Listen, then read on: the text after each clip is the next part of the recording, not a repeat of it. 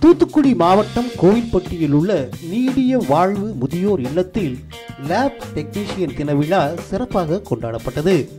விழாவில் முதியோர்களுக்கு மருத்துவ சோதனை மேற்கொண்டதுடன் பல்வேறு நலத்திட்ட உதவிகளும் வழங்கப்பட்டன. முன்னதாக பாரா மெடிக்கல் லேப் டெக்னீஷியன் கல்வி மற்றும் நலச்சங்கத்தின் கொடி ஏற்றப்பட்டது. விழாவிற்கு தூத்துக்குடி வடக்கு மாவட்ட பாரா மெடிக்கல் லேப் கல்வி மற்றும் நலச்சங்க தலைவர் திரு சீனிவாசன் தலைமை வகித்தார். கோவில்பட்டி ரோட்டரி சங்க செயலாளர் திரு முத்துமுருகன் பாரா மெடிக்கல் சங்க செயலாளர் திரு கணேசன் ஆகியோர் முன்னிலை வகித்தனர்.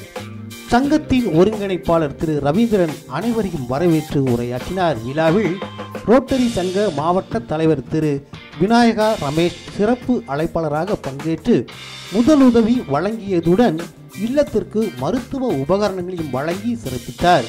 இந்நிகழ்ச்சியானது கோவில்பட்டி ரோட்டரி சங்கம் தூத்துக்குடி வடக்கு மாவட்ட பாரா மெடிக்கல் லேப் கல்வி மற்றும் நலச்சங்கம் சார்பில் சிறப்பாக நடத்தப்பட்டது. நிகழ்ச்சியின் நிறைவில் நீடிய வாழ்வு முதியோர் இல்லத்தின் பொறுப்பாளர் ரீனா நன்றியுரை வழங்கினார்.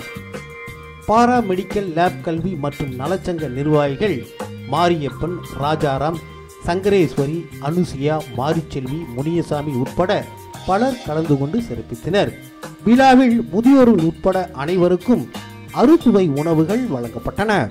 மருத்துவத் துறையில் உள்ள ஒவ்வொரு தொழில்நுட்ப துறையிலும் பணியாற்றுபவர்கள் இதுபோன்ற முதியோர்களுக்கு உதவிட முன்வந்தால் முதியோர்கள் எவ்வித கவலையும் இன்றி தங்களின் வாழ்க்கையை மகிழ்ச்சியாக நகர்த்தி செல்வர்.